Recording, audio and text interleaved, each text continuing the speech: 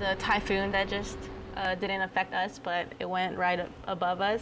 That's affected mainland and Korea, and there was operations that had to be pushed back two weeks because of the weather conditions.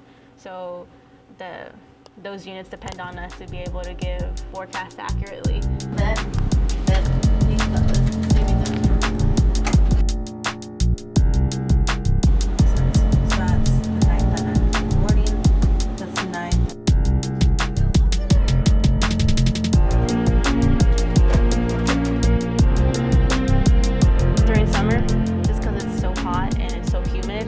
That's like a formula for thunderstorms.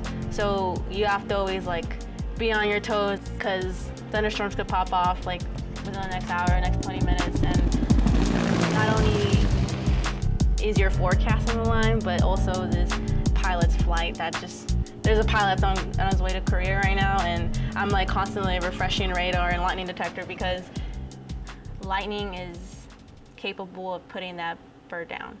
Uh, same with visibility, and that's all dependable on what I tell them and what uh, I'm able to forecast.